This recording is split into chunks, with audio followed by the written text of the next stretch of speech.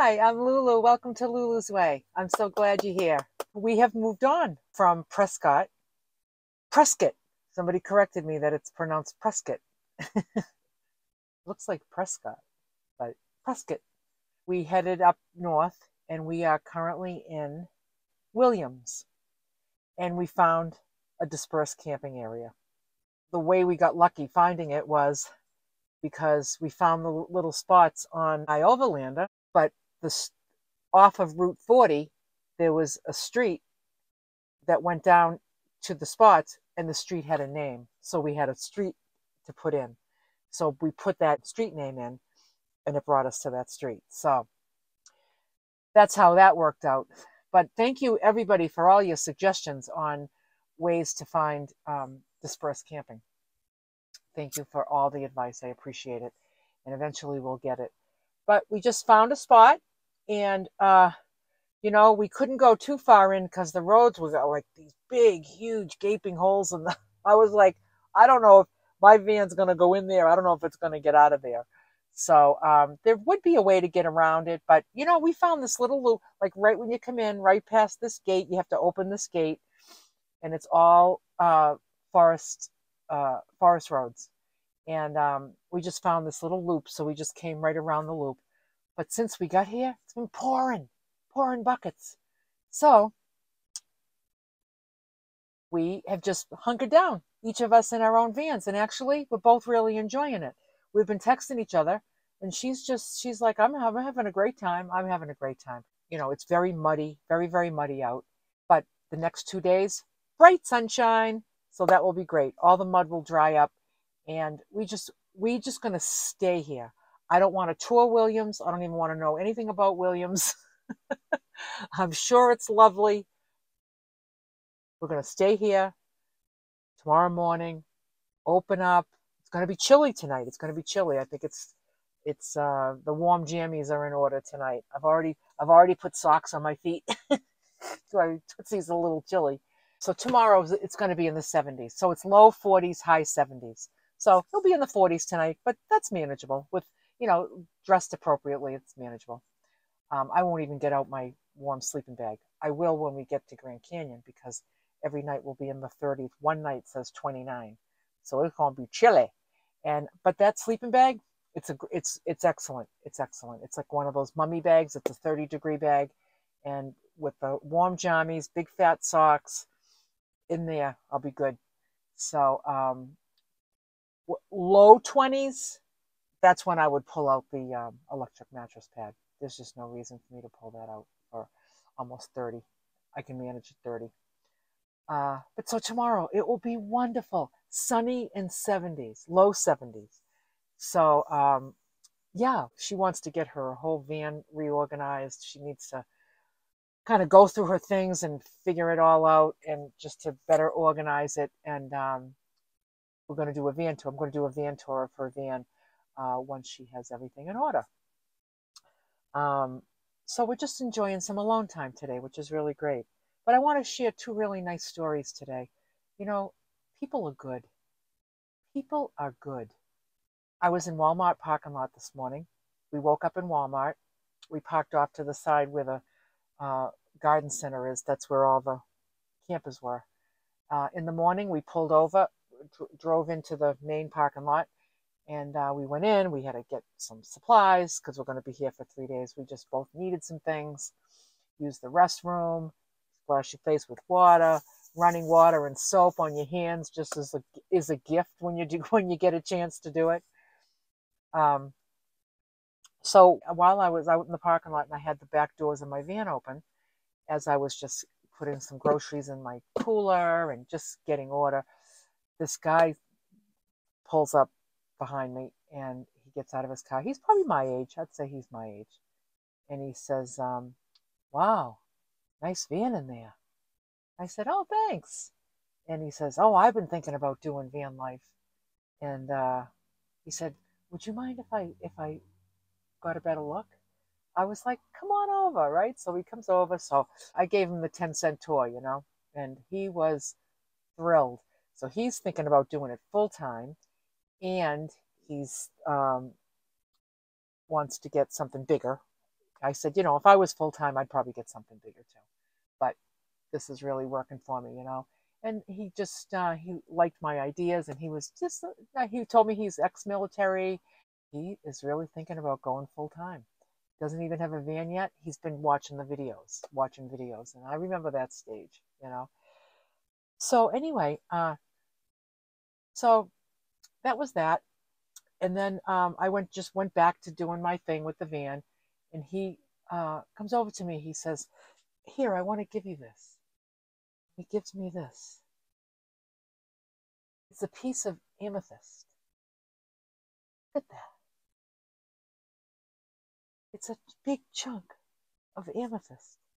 And he said to me, I want you to keep this in your van because it brings um, it brings protection. It's protection. I was like, oh my goodness. I said, you are the sweetest person. I said, Thank you so much. And um, he's like, Oh, you're welcome. And he just had a big smile on his face. And I was like, Can I give you a hug? And he was like, Yeah. So I just hugged him. I was just like, You know something? People are so good. And you're my angel today. Thank you so much.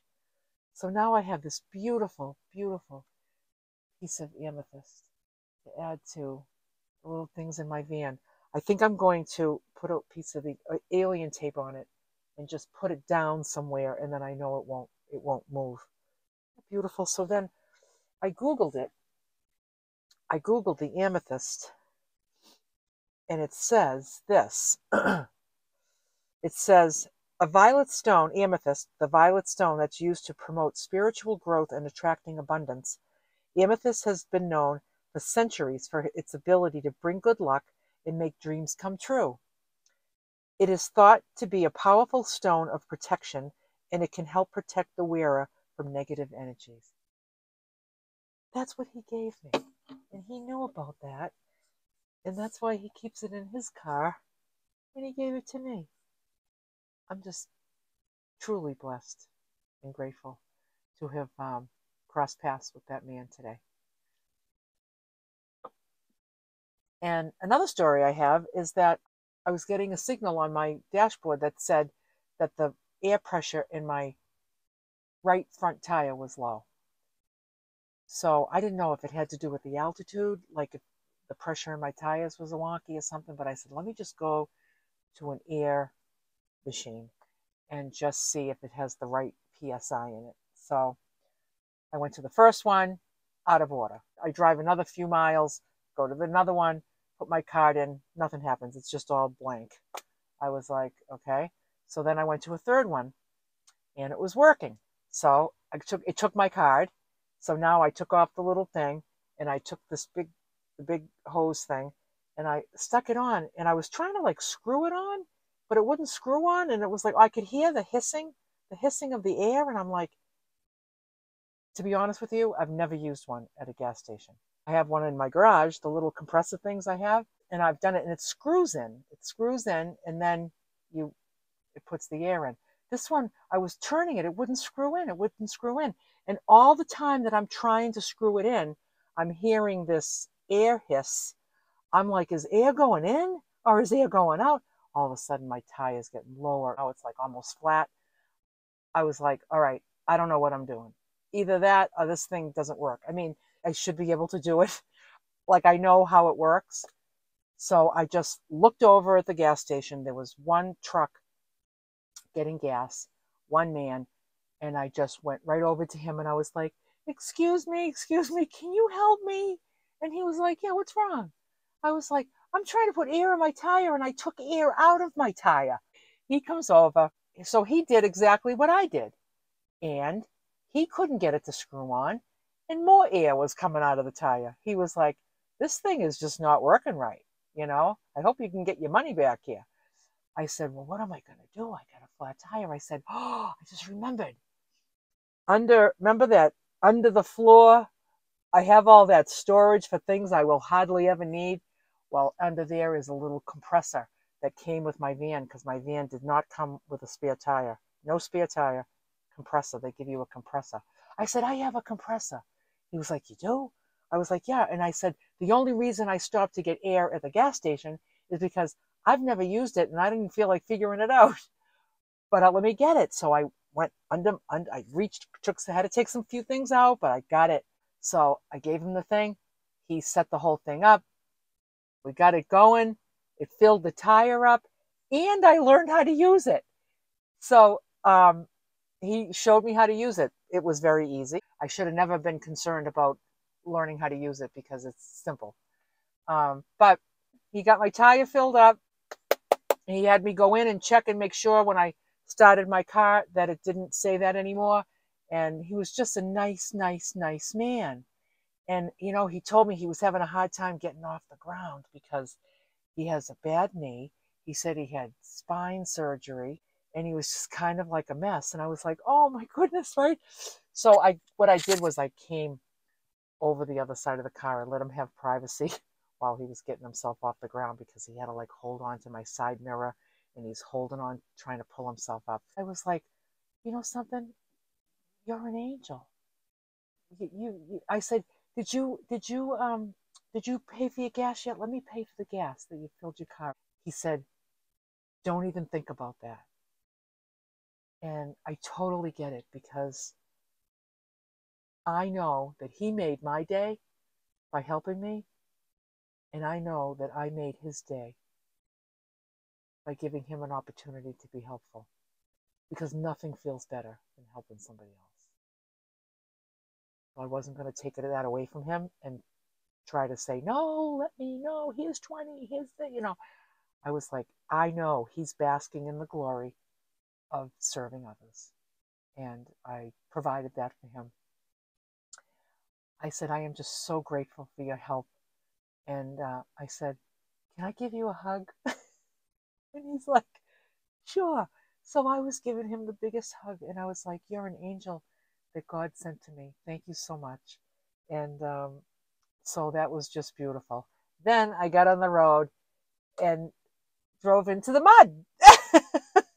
I'm not stuck in the mud though, so that's good. This is a very nice area. Um, and what I'm going to do is um, over the next couple of days, I'm going to do, I'm going to put together like a montage of just pictures, little snippets, little videos, but we're not going to be doing much. I want, we both want to just stay put. I don't want to sightsee. We just want to stay put and just be and just sit in a chair and read a book. And um, the service here is good. It's good. It's not great, but it's good. Um, I don't know. I, I don't think I'll be able to upload a video. So right now it's Sunday. Uh, we're going to be here Monday and Tuesday, and then Wednesday morning we're going to leave to go to the Grand Canyon. And perhaps when I'm on my way to the Grand Canyon is when I'll upload this video. So it will be a it will be uh, one video of dispersed camping in Williams. Yeah, and I'll just take some pictures and just chill out. One other story that I want to tell you is that um, perhaps many of you know Jan from Butterfly Tracks. Um, she is doing this big, huge uh, road trip caravan from Route 1, furthest point north, it's Fort Kent, Maine, all the way to Key West, Florida. So she's doing like a caravan, um, and she's got people doing it with her. So I knew she'd be coming through Mass, and uh, so I told her, if you if you're coming through Mass and you and your people need a place to camp, use my driveway because I have a big ass driveway. I can fit probably eight cars in my driveway. And um, I'm not home though. I would love to be home and host you, but I can't do that because I'm in Arizona. But I want you to truly feel comfortable telling me when you're in this area. If you you can all go in the house and take showers. You can all go in and do laundry. You can all plug in your power stations uh, and charge them up. And uh, so she said, Oh, thank you for the offer. Now, this was a long time ago. Well, didn't she text me the other day and say, We'd like to come in your driveway if if the office still available. I was like, yes. So I called my son. I had him move the cars out of the driveway, let the ladies have the driveway. So I said, all the ladies are coming. I had given my son the heads up that this might happen. And um, so I told him, the ladies are coming and uh, they don't want to come inside. They've already done all their laundry. They've already done everything, showers and everything. So they didn't need to come inside. So I gave her the address and she pulled in and they slept in my driveway, five of them. Love it. I love it. Oh, what a community. You know, what a community. It's just so great. And so they just all felt nice and cozy and safe and comfy. And they just spent the night there and off they went to continue their journey the next morning. Like I said, I wish I could have been there to host them. I would have liked to have made them a big dinner and um, uh, just socialize with them. It would have been really nice, but that's not. The timing was off. But I just think that's amazing. I love it. I love this community. So, so I'm going to say bye for now and uh, enjoy this montage of just three days spent in dispersed campsite, just in the middle of nowhere.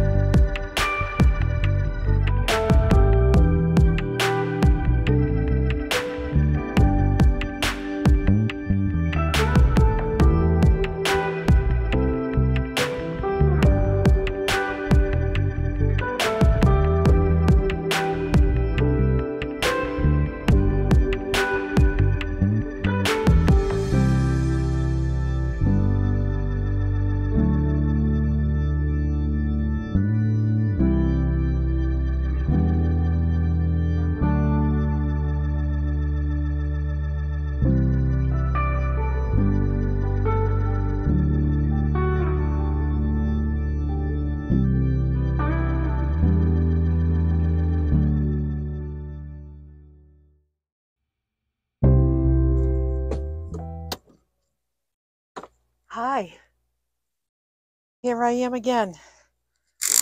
It was chilly. Now it's warm.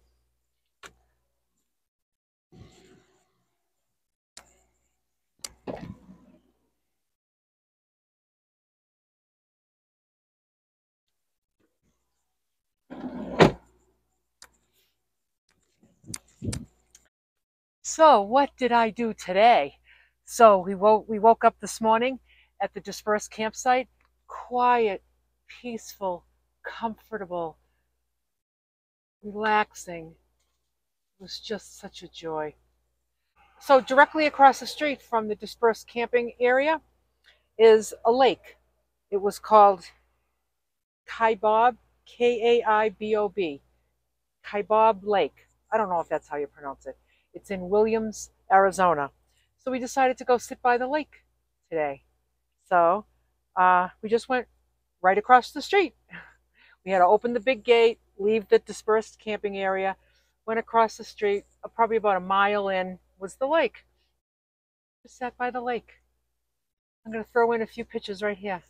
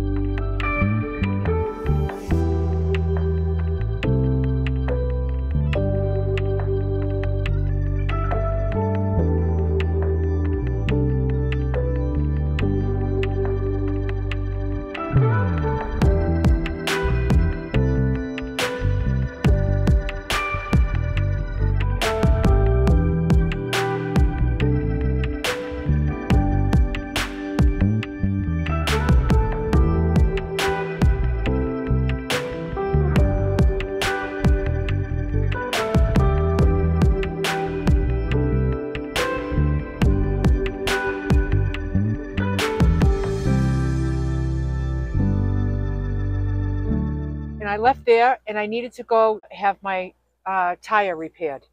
What happened was my air was low. Remember, I told you the story about the guy that helped me put air in the tire.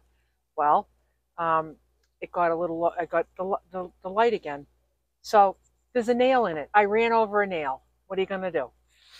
That's why it's been a slow leak. The nail has been keeping it plugged up, but not 100%. So it's been drivable, thank goodness. So I said, let me go get it fixed. So I just looked online, found a tire repair place in Williams. When I gave a call and I was like, I need a tire, I need a plug put in a tire. Um, can anyone take care of that today? And he said, yep, come on over anytime before four. So off I went. I pulled in. I was parked there for literally 30 seconds and they already had the, the jack jacking up my car, took the tire off, brought it in. 10 minutes later, they come out, put it on, $25 fixed. Yes. So now I'm at a grocery store in uh, Williams, Arizona, and I just got a few things, and I thought I would uh, have you join me while I unpack. So I've been struggling a tiny bit with the electricity, although today is a very, very, very sunny day, and I'm actually doing some decent collecting today. But I still can't get myself up. I can't get over 50%. I, I just, I'm, I've been in touch with Bluetti it's just it's being discussed. I have all the electricity I need for my needs. I can't use the pressure cooker. I can use the tea kettle once a day. Um, and I've been making ice, but I've been buying ice just as a backup because if like if I end up getting really low and I have a cloudy day, I'm screwed. So I would rather just have a, a bag of ice in here. So everything's nice and cool in here because there's ice in my ice packs. So that's good. And I've got these ice packs that are cold, cold, cold too. So let's see if I can put this bag of ice. Might be too much ice.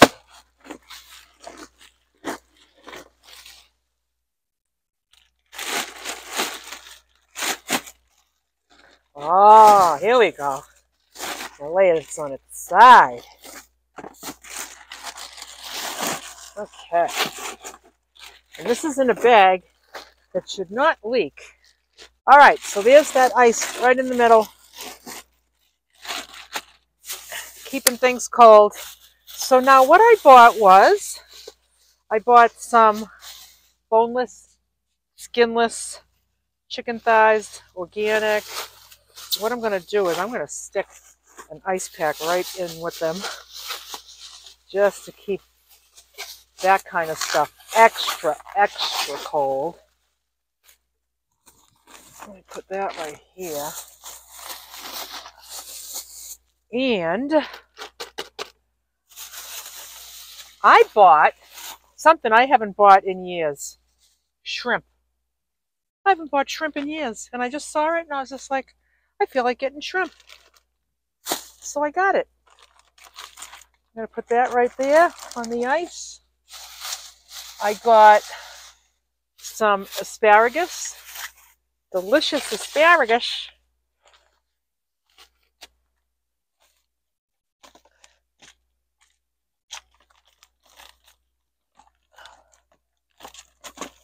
And I got some zucchinis, zucchi doodles.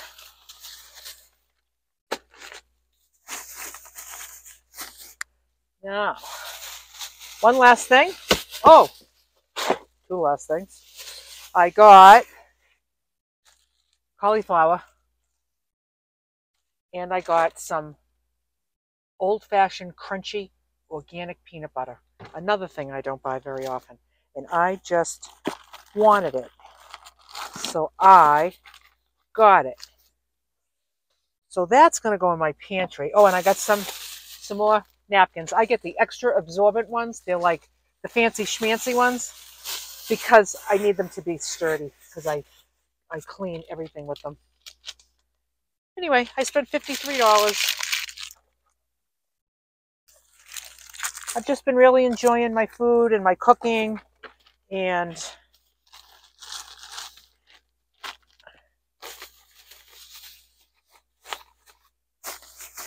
and everything.